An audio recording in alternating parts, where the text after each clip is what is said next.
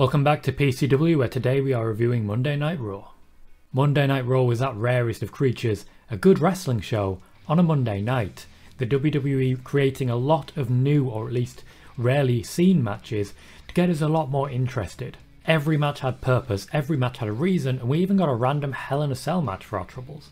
I'm Tom Colohue for PCW, please remember to click like on the video and subscribe if you haven't already, and let's jump into Raw. The show started with Bobby Lashley celebrating his victory in Hell in a Cell, however tainted it may have been. MVP brought him champagne to declare a toast, and they were both interrupted by the New Day, who came down to throw toast. Bit on the nose. Kofi Kingston, who beat Bobby Lashley about a month ago in the middle of the ring due to Drew McIntyre interference, challenged Bobby Lashley on the basis of that for a championship match at Money in the Bank, which is great because Kofi finally has another opportunity at a championship that he lost in 8 seconds many moons ago. Bobby Lashley, to MVP's chagrin, immediately accepted. MVP in this entire segment was really getting in the way. I wonder how intentional it was, because he was talked over and shut up by basically everyone, including Bobby.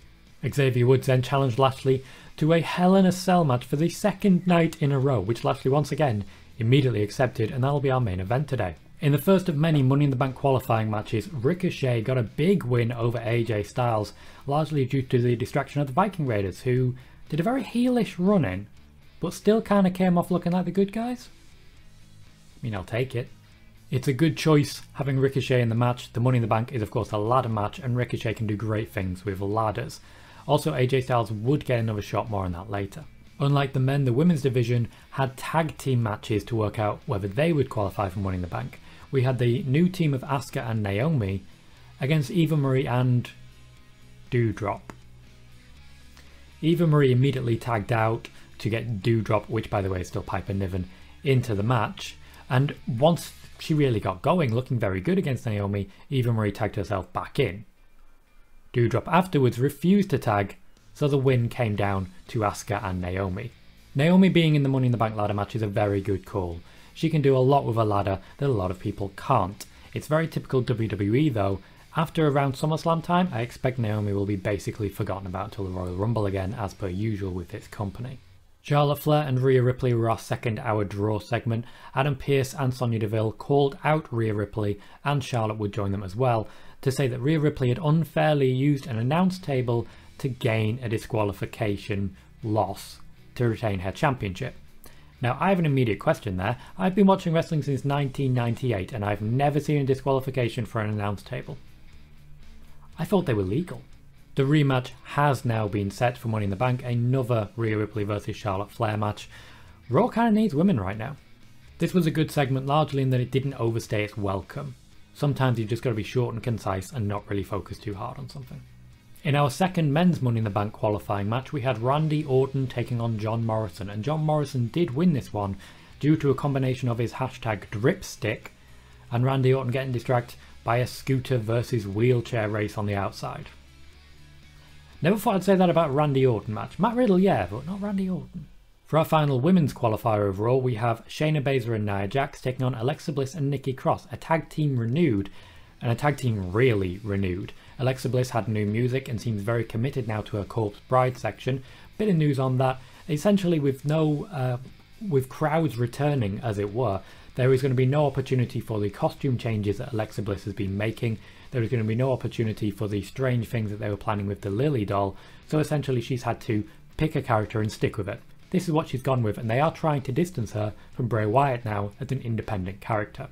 As regards Nikki Cross, she's been experimenting for a couple of months now with some new gear and some new characterization, and she has chosen basically Mighty Molly.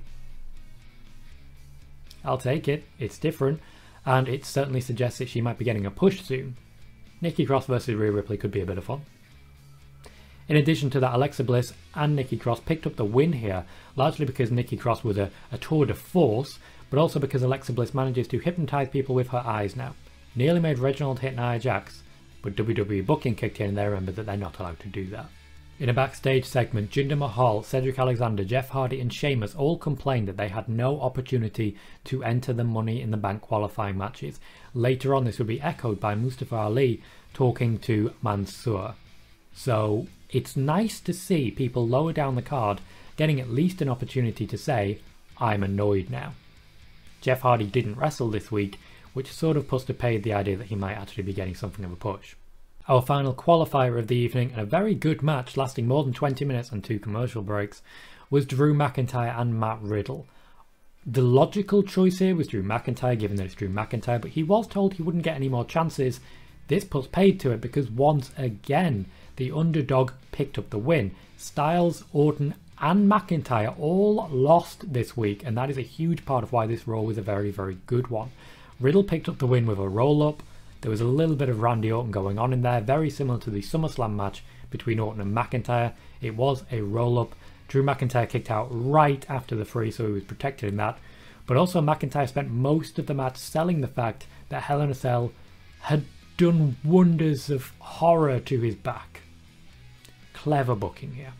Next week, we will have AJ Styles versus Randy Orton versus Drew McIntyre in a last chance match. One of these will still join the Money in the Bank match alongside Ricochet, John Morrison, and Matt Riddle. My suspicion is that it will be AJ Styles. Finally, in our Hell in a Cell main event, which was in no way an apology to the USA Network for the Hell in a Cell main event on Fox on SmackDown, we had Bobby Lashley in a non title match taking on Xavier Woods.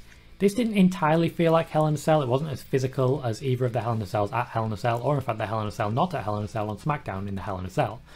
It wasn't as physical as that. There was less weaponry used, but it was still a very good match. Xavier Woods able to use the fact that this is Bobby Lashley's second Hell in a Cell in two days. He and McIntyre truly insane with this particular bit of booking. And using that fact to essentially get the leg up. Xavier Woods had strong moments, but Bobby Lashley was dominant almost throughout and did pick up as clean as you can get a win by making Xavier Woods tap out to the hurt lock. Afterwards, with Kofi Kingston still locked on the outside, Bobby Lashley grabbed hold of Xavier Woods again, mushed him up against the uh, the cell right in front of Kofi Kingston, and laid in a bit of an extra beating just to add extra impetus.